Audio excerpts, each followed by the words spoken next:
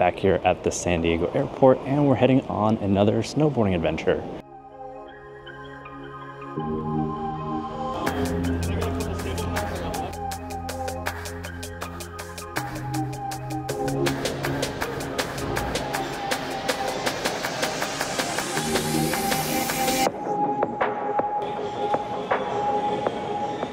So we checked our bags and uh, we're sitting at the gate now. Flight departs in about an hour, so just hanging out, enjoying some coffee.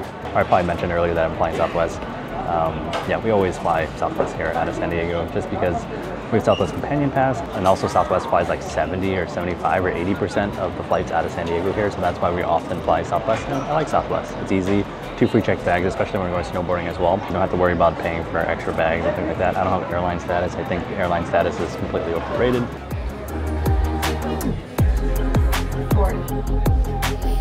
Southwest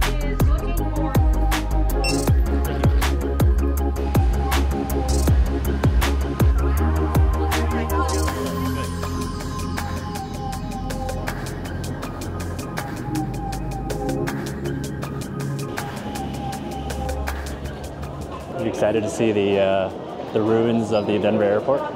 The ancient ruins of Denver airport? Maybe it's just me, but I think these ancient ruins are always really funny.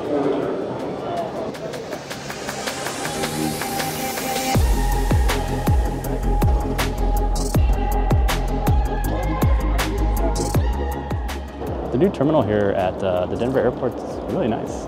So the plan is to go grab our snowboards and then we're taking the Epic shuttle to Vail, similar to what we did last time. So we got our snowboards, they're right here. Tiffany's refilling the water bottle and then, uh, then we're gonna head to our shuttle. We're a little early. Shuttle's not until six o'clock and right now it's 5.20. Denver has some weirdest-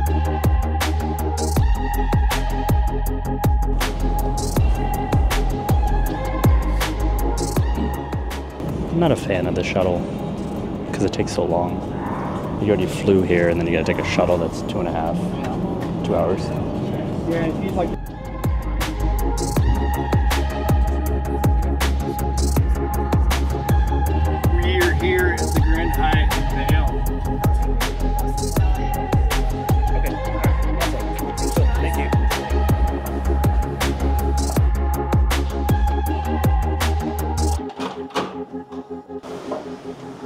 this is fancy.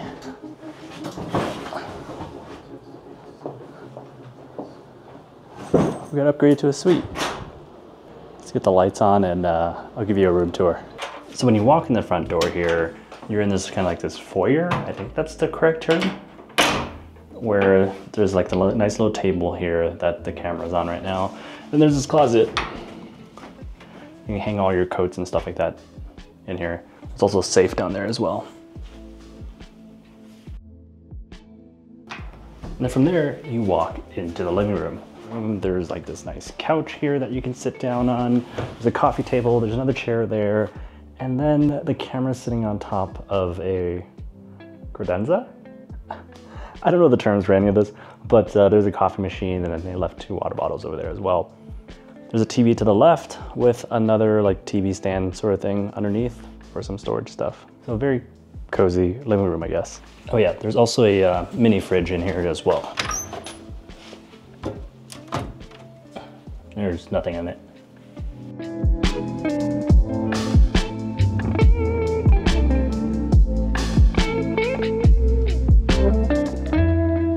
Coming from the living room, you walk into the bedroom. There's like this seating area over here. And then this balcony opens up. It's kind of dark right now. I'll show you what it looks like in the morning. And then uh, obviously the bed is right here. And there's this really long dresser, also desk area to work as well. And that takes us into the bathroom over here.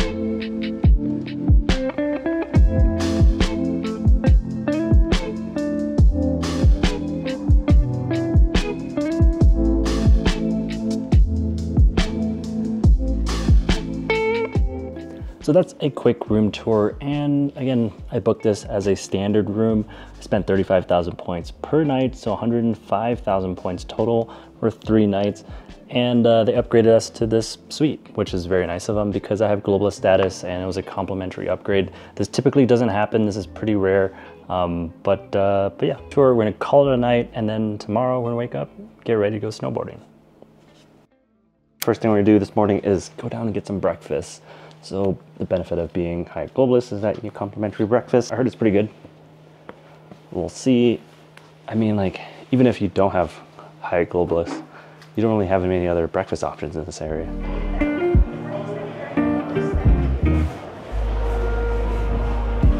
Just got seated, looking at the menu here. Seems like it's pretty standard, like parfaits, fruit plates, steel cut oats, omelets. I think what's pretty unique here is the carnitas benedicts, right? House carnitas, and uh, there's also elk sausage too. I think I'm gonna go for the carnitas benedict. Try that. I think there's a little like buffet thing over there. Should I go check it out? All right, let's go.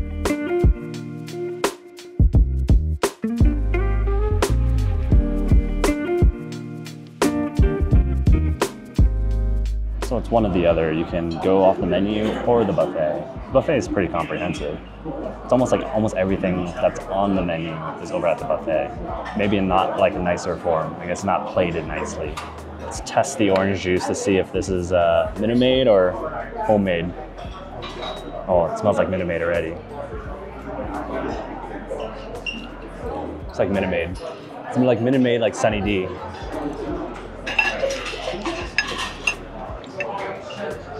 Not bad. A little salty, but good.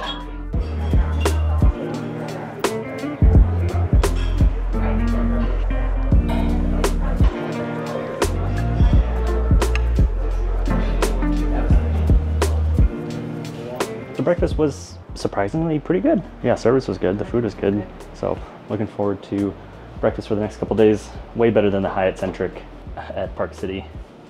You want to go check out that video, I'll link it somewhere up here down in the description. But now we're gonna get ready for snowboarding. So we're headed down to the second floor to Ski Valet, or out to the lift. We're gonna pass by Ski Valet.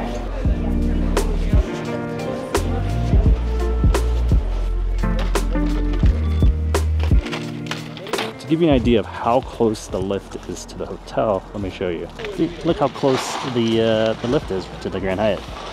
It's literally right next to it.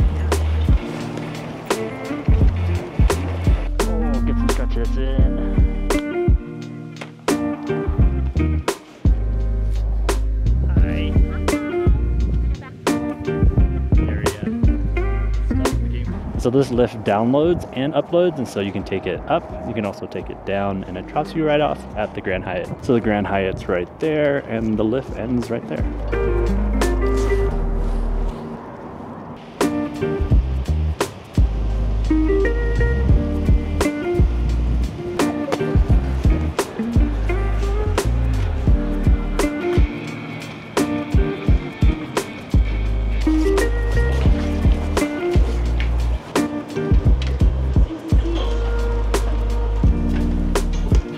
Just give you stickers for the ski valet and just leave it out in the rack and they'll bring it in at night. Assuming that's what happens. Kind of similar to how the Hyatt Centric at the Park City is like not nearly as fancy or full service as the uh, Park Hyatt Beaver Creek. So the plan is we're gonna get out of our snow gear here, freshen up, and then uh, we're gonna head to the main part of Vail for some late lunch, early dinner. Tiffany made reservations at a restaurant.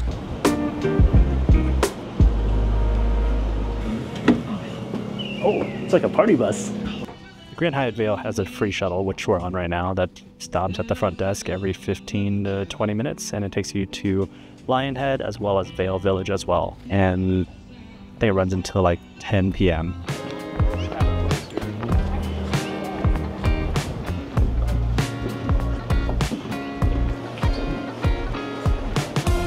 Oh, another Kemo Sabe.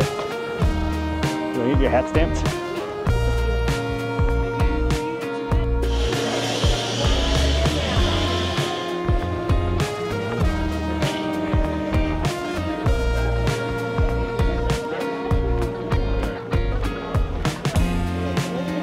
As you can see, we're at another uh, Kemo Sabe.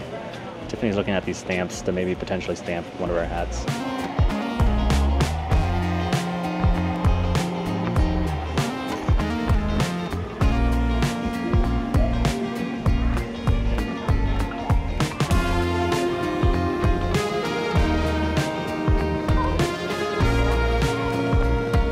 Out of all the villages we've been to in the US, this one feels the most kind of European.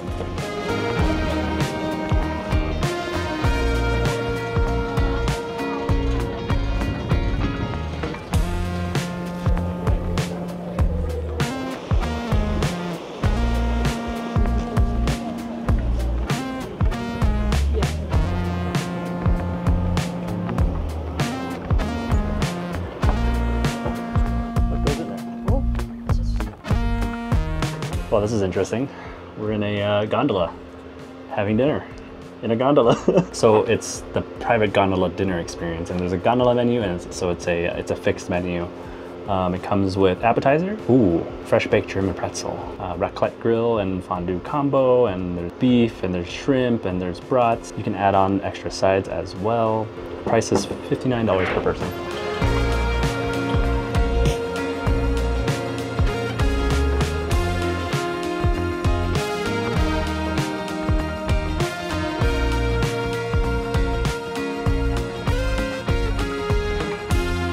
That was a fun experience. $59 not including tip per person.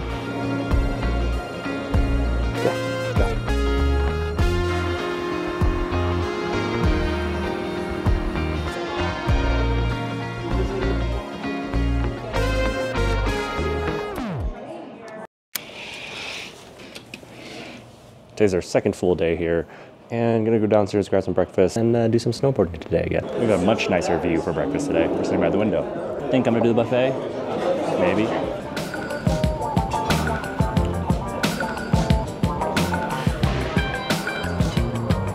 Every day, it seems like the, the buffet changes a little bit. Yesterday they had uh, French toast. Today they have pancakes. The biscuit and gravy is new. And I think the buffet is what forty dollars. It's pretty expensive buffet. Good thing it's complimentary for us for global status.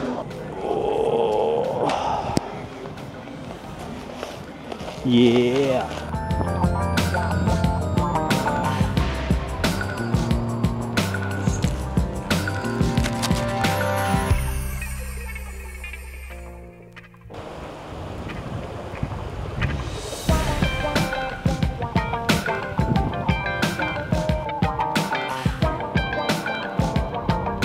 That's probably the last of the uh, snowboarding this season. We're just gonna walk it up the hill back up to the uh, Grand Hyatt.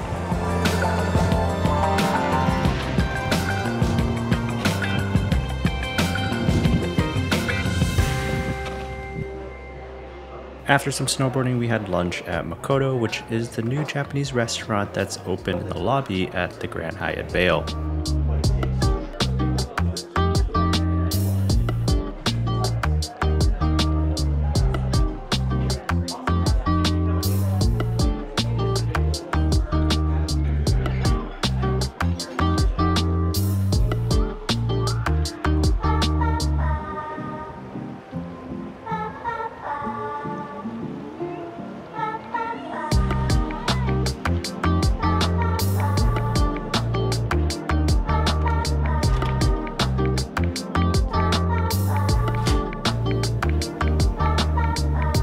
Kind of cool that they have uh, guest laundry here. And there's complimentary Tide Pods. These are free as well. There's no way to pay for them, so I'm assuming they're free, which is really nice. There's four of them, four washer and dryers that are stacked here.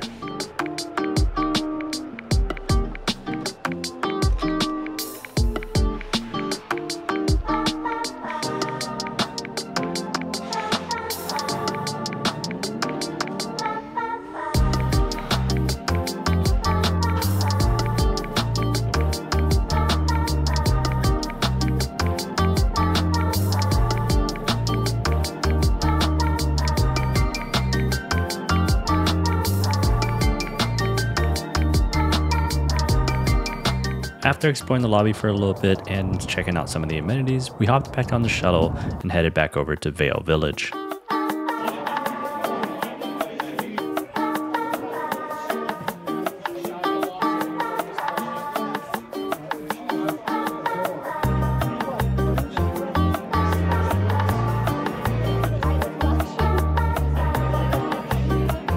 we had some uh, dinner at Sweet Basil. We put our name down at Sweet Basil and uh, name, so that's where we're headed.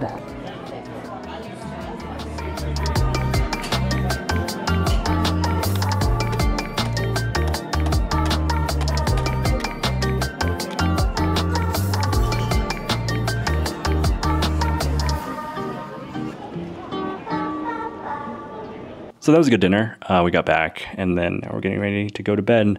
But the problem is, might be in for an adventure tomorrow because uh, snow's supposed to be moving in tonight and we're supposed to be taking the Epic shuttle. There's supposed to be like two feet of snow that's coming through. So we'll see if we actually make it to uh, to the Denver airport for our flight. I booked the backup flight on Southwest. Southwest is a flexibility. Um, it's that uh, you can cancel the ticket and uh, there's no cancellation fee and you get the points back or you get uh, a flight credit. So I booked the backup ticket just in case we don't make our flight because of the snow and the traffic and stuff like that. So yeah, stick around and see if we make it to Denver in time for our flight tomorrow. Oh man. It's a lot of snow. And it's still snowing. Epic shuttle hasn't canceled yet. Their first shuttle's at 6 a.m. Guess we'll find out what happens.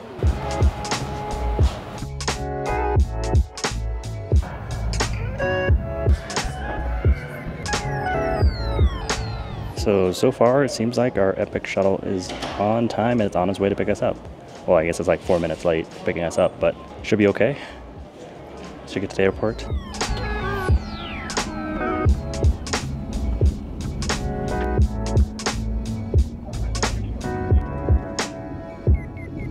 That wasn't too bad. It took us about uh, two and a half hours. Left at nine and got to the airport here at 11:26.